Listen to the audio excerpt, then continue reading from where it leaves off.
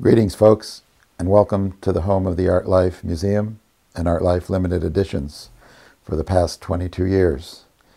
Having been in the same studio and residence for such a period of time, it's been brought to my attention time and time again that the place is resembling more and more of a museum as time goes by. So today we're going to take a very brief tour of the tip of the iceberg so that uh, people will have an idea of some of the uh, work that has gone into Art Life Limited Editions over the years and the results of some of the byproducts of that work. Also an introduction to uh, the Art Life Museum, which can be found on our website and is known as Art Life MoCA which is the Museum of Conceptual Art. In the corner of the entry room is one bookcase which has one cubbyhole assigned for each of the years of Art Life's publication. So each compartment contains 11 issues for that particular year, spanning over a 25 year period. In 1980, before coming up with the idea for Art Life, I was uh, doing large-scale sculpture and models of proposals for large-scale sculpture while uh, simultaneously doing uh, high-tech product development for a firm in Santa Barbara. At the time I was doing balancing sculptures, which you'll find all over the house and the studio because uh, even though I started doing those before Art Life in 1980, I continued to do them sporadically over the years. Uh, the reason uh, this one in the corner is dominant is because it was one of the earliest ones before the first issue of Art Life. And uh, what it was meant to be was a monument to space exploration with a tower uh, approximately the size of the Washington Monument, which would be wind-driven, uh, solar-powered, and generate electricity. So at that time, the best I could do was to make models of these things so that uh, this is the model for that particular sculpture, which obviously was never brought to fruition.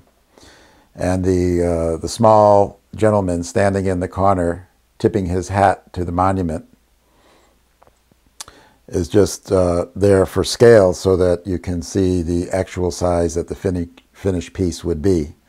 And the balance beam with the planet Saturn on one end and uh, solar cells on the other is balanced atop of a simulation of the jet stream left behind by a rocket being launched into outer space. So this was a very important and seminal piece and uh, at some point in the future it may even get larger than the model. The one behind it looks very delicate and very insignificant. However, it's uh, very much more than that since what's represented on both ends of the balance beam, which are hovering over the planet Earth, are two geosynchronous satellites spinning around the Earth much as the present-day satellites that bring us uh, most of our communications. So the speed of the satellites is timed perfectly with the rotation of the Earth so that the satellites and the Earth are constantly rotating in the same path at the same speed. So for all intents and purposes, they're not moving. So after uh, doing these balancing things for quite some time, I got involved with some smaller models using different materials, and there are a couple of those here on the mantle.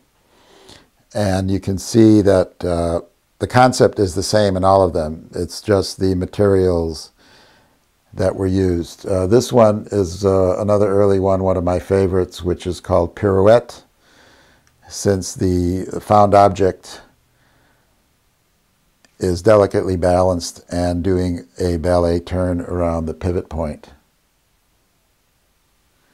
Uh, the one in the front is a rib bone, which is meant to be far more primitive, and uh, that would correspond with the base that it's on. The, the next one is a full circle, which is far more stable since it's not only balanced but pierced at the same time. So this series was something that uh, started 30 years ago and as we'll see shortly has continued over the years and oh, probably uh, will continue with larger scale outdoor pieces now that I don't have my monthly deadline after 25 years. One of the things that uh, has been with Art Life for all of its uh, 25 years uh, and beyond is the Art Saves Lives motto, which uh, for the first uh, several years I used repeatedly on a life preserver to further illustrate uh, the concept. And there are probably a dozen of these life preservers in various uh, colors, shapes, sizes, and forms that have been coast to coast in America several times and are always displayed at any of our shows. So since then, the slogan has been printed on every conceivable type of print material on the internet, on Facebook, t-shirts, jackets, you name it. It's uh, been disseminated as widely internationally as possible in the last 30 years. So that is something that uh, has always been a part of art life and always will be. Uh, the sculpture on the mantle below the life preserver is one of my simplest, but also I think one of uh, the ones I feel is uh, the most sublime of the assemblages that I've put together over the years. And generally, I will save the parts to these pieces for many, many years until I have the right combination to make a suitable statement. So this one uh, is a carved wooden frame around an oval ivory box. Inside the oval ivory box is some white sheepskin with a red chili pepper, and it has a pearl on the stem of the chili pepper. Uh, the title of the piece is A Reclining Nude, and uh, most obviously it is after Modigliani's version of the same subject. These are two of my favorite balancing pieces. Uh, the larger one is an illustration of the war on terrorism. And on the balance beam, on one end we have the symbol for Islam, and on the other we have the symbol for Christianity, which is the crucifix.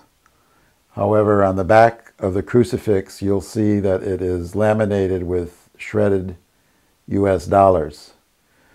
So the representation is Christianity backed by US dollars opposed to the copper clad technology of fundamentalist Islamic beliefs. So these two ideologies are endlessly weaving and bobbing and turning and never reaching any resolution, but always opposed to each other. And if we come down the minaret to the base of the sculpture, you'll see a very small scale model of the World Trade Center, which in the total picture is actually the smaller of the two problems. The large problem is the difference between Islam and Christianity, and the World Trade Center is merely an illustration of the results of that. Next to this piece is a model for a large-scale public art sculpture once again, utilizing the Statue of Liberty. But on the balance beam above the, the Statue of Liberty are the words uh, freedom or death. And that is taken from uh, the title of Nikos Kazantzakis' uh, novel, which is world famous. And for those not familiar with him, he is uh, the foremost author contemporary author in modern Greece. And he's written several other important books, uh, including uh, The Last Temptation of Christ and the one known by most people, Zorba the Greek. So here we have freedom or death balanced on liberty, endlessly in motion.